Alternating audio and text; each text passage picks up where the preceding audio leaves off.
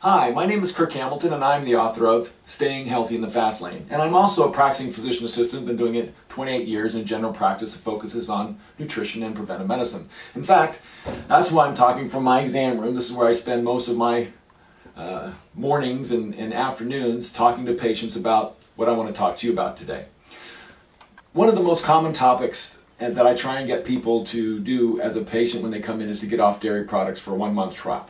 And many people balk, revolt, get angry with me, think I'm un American, a communist. I'm serious. I get people really angry with me, and especially cheese consumers. So, why would I do that after 28 years of practice? Why would I put myself through that? Well, one of the reasons is I've seen so many things get better when people get off milk products. Chronic complaints that physicians have never asked about what they eat. And for example, here's here's a really classic young child, nine years of age, chronic constipation, has a bowel movement every week, overweight. Seen two or three pediatric specialists. No one ever asked her what she ate. Mother comes in, says she's milk products, cheese products every day. We take her off milk products, and within a day, normal bowel movements, story over. I can go on and on with stories like that. And in my book, I actually have a chapter on page 89 just on dairy products. And I'd like to read you some of the complaints that I see or some of the symptoms. Asthma improving getting off dairy products. Back pain, because because dairy can cause joint pain. Um, bloating, chronic cough, nasal congestion, uh, diarrhea or constipation, heartburn. I remember a gentleman going and getting a treadmill, and all it was for chest pain was he got off dairy products and went away. Uh, menstrual cramps, nasal congestion, puffiness, can't get your ring off in the morning. Get people off dairy products, all of a sudden the ring comes off um, sleep apnea. Gave a lecture to a group of executives.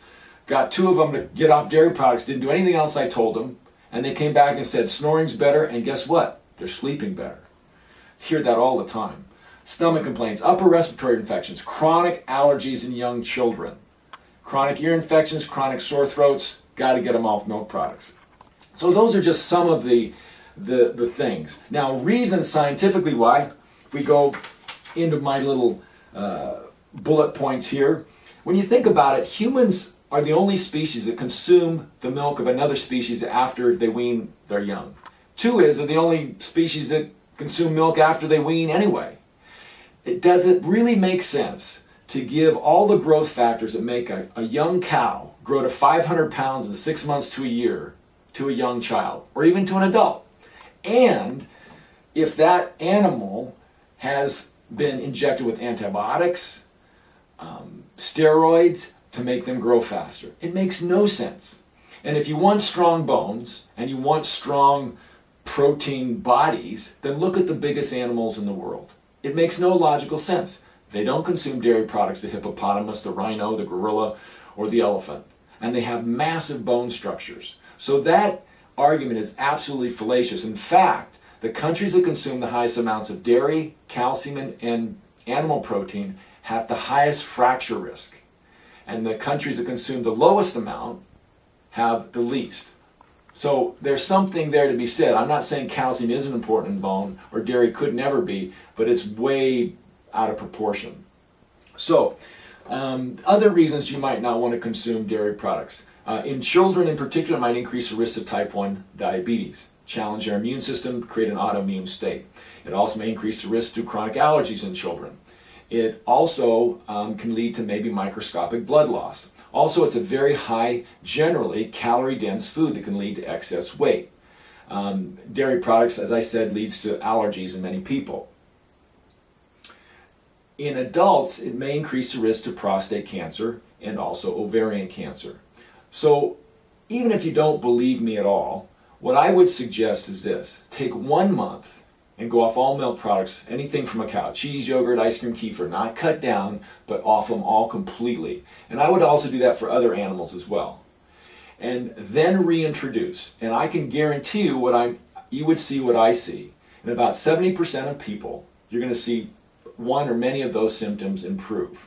The side effects, virtually none, except you might lose weight, Occasionally, someone will have low blood sugar because they're not used to eating any other food because they're consuming so much dairy products. Occasionally, someone will get a muscle cramp.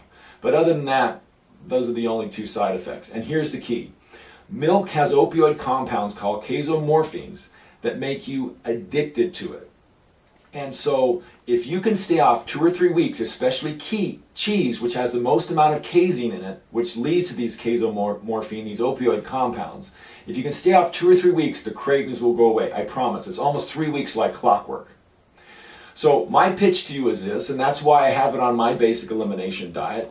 In fact, on my website, and in my book, when you get it, I have this basic elimination diet and, of course, dairy products off there. So I would stay off dairy products for one month as a trial. The other thing I would consider doing, aside from obviously buying my book, is this book is one of the best books. I interviewed um, Dr. Keon on this on my website, prescription2000.com, on the whole concept of dairy products. But this is an excellent book that you should read for the health of your family and your children. Also, as far as the bone issue, when you're thinking all you need to do is pile on more calcium and dairy products, read Building Bone Vitality by Dr. Amy Joy Lanou. Fabulous book. Both can be gotten on Amazon.com. So, I'm Kirk Hamilton. This is the Staying Healthy Today show. My website is prescription2000.com. You can get this book on the website or on Amazon, discounted on our website. And give a trial of being off dairy products for at least one month, and then write me and let me know what happens. Talk to you soon.